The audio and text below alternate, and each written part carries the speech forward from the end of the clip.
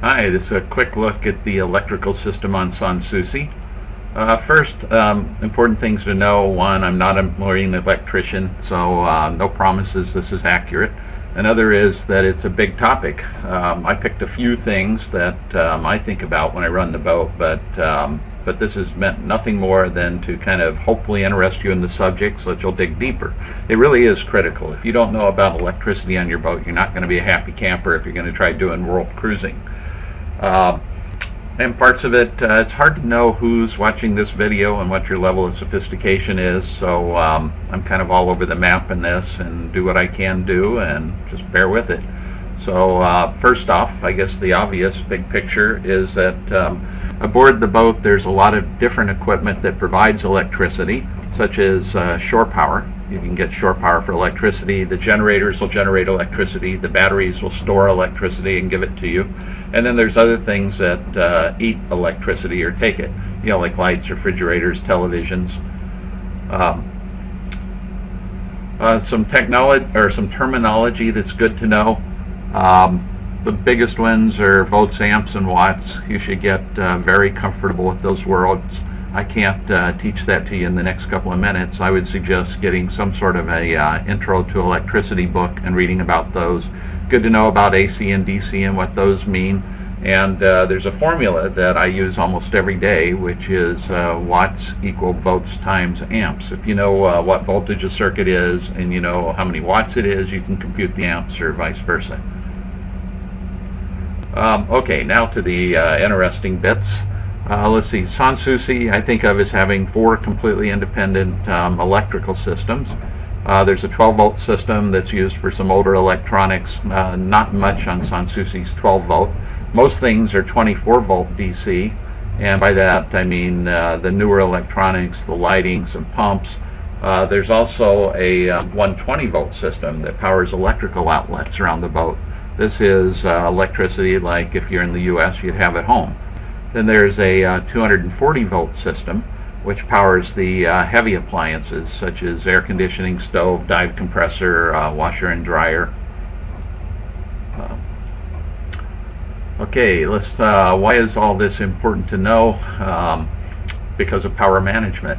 On a boat, uh, there's only a finite amount of electricity available at any point in time. Um, if you don't um, keep track of how much electricity you're using, you can uh, easily run the boat out of electricity, which uh, can wreck your day, and uh, also lead to um, if you overdraw the system or overtax the system, you can um, uh, burn up wires, you can have dead batteries, you can um, all kinds of bad things can happen, including electrical fires. So you really have to get on top of electricity on the boat and um, kind of build up patterns so that you know what your boat can and can't do like how many hours a day you have to run the generator, or a big one on Sans Souci is making sure Roberta talks to me before she turns anything major on, so that uh, we don't overburden the system. Um, shore power, I talked about different things that provide electricity. Well, uh, one of the obvious ones is shore power, and if you're in the U.S. and with a U.S. type boat, that's fairly straightforward. But as you go around the world, you discover quickly that shore power is different in every country and uh, sometimes in every marina and even within a marina from pedestal to pedestal within a marina. So um, if you travel around the world, this can be a big deal, and because we do, I've got an extra device that's called an Atlas Shore Power Converter that takes in all the different voltages and uh, kinds of electricity we see around the world and turns it into what they expect in the U.S., which is single phase, 60 hertz, um, dual 110 volt lines, and I'll come back to what that means. Um, there's generators. That's another device that um, generates electricity. And on Sans Souci, we've got two different ones. And uh, their purpose is to convert diesel fuel into uh, 240 volt um, current, two lines of 120 volts. I said 110 volt here, but it's 120 volt. Okay, so on Sans Souci, we've got a few different sources of electricity. We've got uh, shore power, which I get to through the uh, Atlas. We've got our batteries, which um, are converted to uh, 120 and 240 volt electricity. We've got um, the generators, the two generators that convert fuel. And, um, you know, obviously, uh, well, we've also got switches that will um, choose which of those power sources we wanted. And I put a tip here, um, even though it doesn't kind of relate, but is really critical. which is uh, if you're switching power sources, uh, I actually have a selector box here where I can say which of these four places I want to take electricity. And uh, an important tip for those that uh, have boats is to turn the loads off before you, uh, the major loads, before you uh, switch power sources.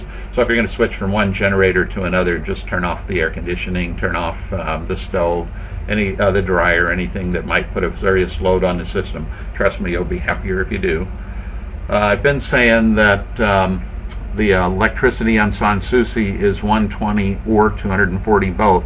And the reason being, the wiring has, um, around the boat, has uh, four wires typically. Um, and on those wires, there's a wire labeled uh, L1 that's red, one that's black that uh, is L2, and then neutral and ground. If you were to take a voltmeter and measure from L1 to L2, you're going to get 240 volts, but from L1 to neutral, you only get 120. So uh, by having it this way and having 220 volt wires, this is kind of the US standard, um, you're able to get 120 or 240 depending on what you need. And while I'm talking about sources of electricity, places to get electricity around the boat, we can't forget that uh, there is, I mentioned we have a 12 volt system and a 24 volt system. There's a 12 volt battery and there's also a 24 ba battery bank and uh, some devices are powered directly by the 24 volt battery bank or the 12 volt such as um, uh, mostly the pilot house electronics on the lighting uh, that comes straight off the 24 volt battery bank. Uh, okay, so with all those different electrical systems, as you can imagine, I've got different electrical panels which uh, provide the electricity for them.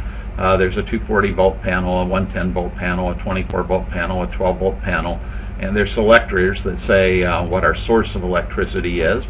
There's also, um, I mentioned the inverter, which converts uh, battery power to um, uh, 120 and 240 volt power. There's a control panel for it, and there's also a control panel to control the Atlas, the shore power converter. Um, okay, let's look at the um, 24 volt service panel. Each item, um, or sometimes a uh, group of items, will have its own breaker. A breaker just uh, gives me a quick way to uh, shut off power and it also provides a um, for each device um, the breaker is set to the number of amps that device uses and will trip if for some reason the device is using too many uh, which can happen if a pump freezes up or something that starts drawing too many amps and can um, fry wires but better is to trip one of these breakers. So this gives me a way to quickly turn things off but on the 24 volt panel you can see it's mostly on lighting um, uh, electronics and uh, pumps on the 12 volt system, this really is only um, basically uh, 12 volt is being phased out on um, on the bigger boats. So that, uh, there's some old devices uh, such as the um, VHF radios uh, that are mostly available and still in 12 volt to this day. So um, most modern boats you'll see a 12 volt battery sitting in the pilot house like in Sans Souci with its own independent battery charger and it's powering the um, older um, you know, a Furuno gear, the uh, Pilot House Electronics. Uh, the 120 circuits um, are kind of the uh, standard appliances, electrical outlets, and you'll notice here I say split to two legs, and on the um, panel itself you'll see two different legs of uh, 120 electricity. And the goal, um, if a, you know, when somebody designed the system on Sans Souci was to uh, split the loads so they'd be fairly equal. Because say the generator is putting out um, some number of kW and then remember I showed in the wiring that there were uh, two 120 volt circuits? You want the uh, load on each of those circuits to be as close to each other as you can get it. And so that's why we're split to leg one leg two with about half the loads on each one. And uh, uh the biggest thing this does is all the electrical outlets around the boat but also the small appliances then there's the uh, 240 volt stuff. This is the uh, heavy equipment that needs lots of electricity like the davit for raising and lowering the tender, the stove, the air conditioning, the washer dryer, and it's got its own panel and even within it it's broken into uh, separate sub panels. Down at the bottom you see a whole panel just devoted to the air conditioning and um, that uses a lot of electricity so it's on the 240 volt panel and also the feed to the inverters which um, is what uh, runs all the 120 circuits around. Go the next page. Um, electricity gets confusing when you're kind of working with 24 volt and 12 volt and 120 volt and everything else, and you're trying to figure it out. You have um, a generator, say, or shore power, which tend to be measured in terms of uh, kilowatts or amps, and uh, it gets confusing. For instance, if you have a uh, you know 50 amp cable coming into your boat with um, 240 volts on it, there's some number of kilowatts in that, and it's nice to compare it to your generator and be able to say um, how many uh, kilowatts equivalent am I getting uh, with my uh, generator? Well, if you have a 50 amp cable, or let's say a 30 amp cable at 240 volts, if you multiply 30 by 240, you get roughly 7 kW. So it's kind of like, you know, equivalent to a 7 kW generator. And uh, I like to think of everything as kW then um, it makes it easier in my mind to kind of think of what percentage of my generator it is and whether it's more or less. Um, confusing, yes, but, um, but works. Okay, uh, batteries. Let's uh, do a quick talk about batteries for people. I mean, the obvious thing is that they're used to store energy so that um, you can store it and use it later. And batteries, when batteries are bought, they're described in terms of how many amp hours they store. And what an amp hour is, is how many amps they can deliver for how many hours, what voltage they are, um, which typically is uh, 12 volts, although certainly there's 9 volt batteries and 1.5 volt batteries. Um, how fast they can deliver electricity. There's some uh, batteries that can only deliver a little amount of electricity at a time, and some that can deliver, such as in using um, uses like starting batteries, where you need a ton of current out of that battery really quickly then uh, batteries, you can talk about how fast they can recharge and how many times they can be recharged before um, they reach the end of their life. Uh, for a typical uh, battery on a boat, um, AGM battery like what we're using, uh, that number is uh, around 100 amp hours and um, they can typically only be taken down about 50% before charging. So um, on a typical Nordhavn like mine, you'll have around 2,000 amp hours, meaning 20 batteries at 100 amp hours each. And since they can only be taken down about 50%, that means of those 2,000, you can only use about 100 amp hours.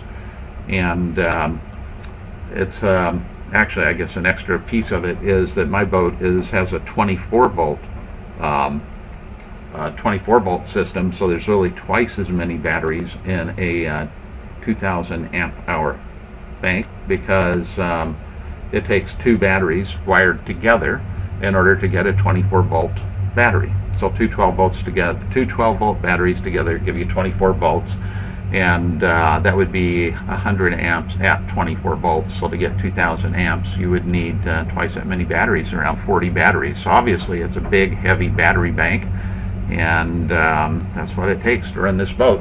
And you can only discharge half of it which uh, means, like I said, you've got a thousand amp hours available, and if you divide that by the um, uh, 24 volts, you can get the number of kilowatts that's in effect stored for later retrieval in those that battery bank.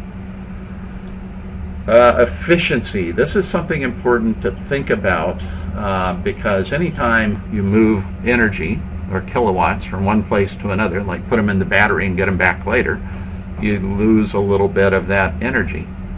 And um, why it's important is that um, in some cases, like your generator, um, here I said your generator might be 50% of 90, 90% efficient, but that's way wrong. That's a typo in the slide. Uh, most generators are actually about 35% efficient, meaning as they convert fuel into uh, kilowatts, uh, about two thirds of it just gets wasted and sent out the exhaust pipe.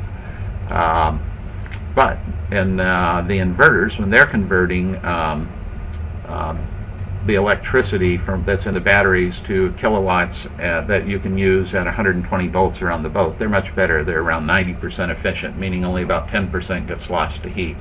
All that said, when you're running the inverters and you're losing that 10% to heat, it uh, puts heat into um, the lazarette on this boat where I've got the batteries, and uh, it gets hot back there. Uh, the inverters. Let's see. Um, you know, here I said that the inverters have two functions. One is to um, convert battery power to 120 and 240 volt power. The other is to um, charge the house battery bank.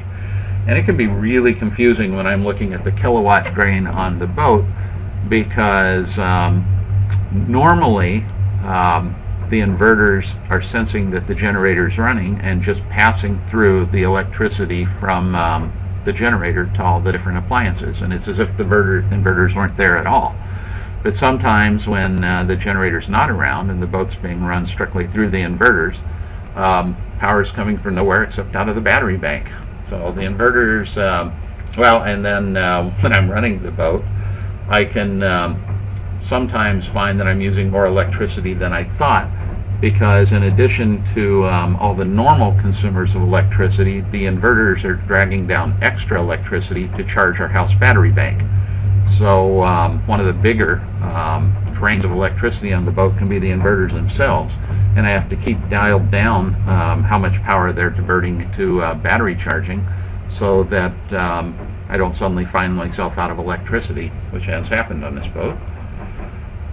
Uh, let's see, what do boats do that don't have that international shore power converter that I have as they travel around the world? Well, a quick answer is most boats don't travel inter- internationally, but um, there is a workaround that um, a lot of boats do. Seabird, another boat that we're traveling around with now, does, which is effectively to run the boat and all the electrical loads off their inverter and off their uh, house bank. And um, some devices on boats aren't run through the uh, inverters, like uh, the heavy loads typically are not on an inverter, like washer dryer. So um, Nordhavn, I, when they build the boats, knows uh, knows about this workaround and builds the um, air conditioning and the heavy appliances in so that um, they're pretty um, accepting of wide ranges of voltage and um, uh, particularly hertz, which is the 50 cycle or 60 cycle power. And if you can get 250 uh, or 240 volt uh, 50 cycle or 60 cycle power, um, the air conditioning and the washer and dryer will accept it. They're not very picky and use battery chargers that are uh, pretty flexible and will accept a lot of different power from around the world. So that on the boat, um, the heavy appliances are being run direct from shore power because they're forgiving, and all of the other stuff on the boat, which is less forgiving, all the electronics are being powered through the inverters that are being powered by a battery charger that comes off of a um, international power, whatever it is.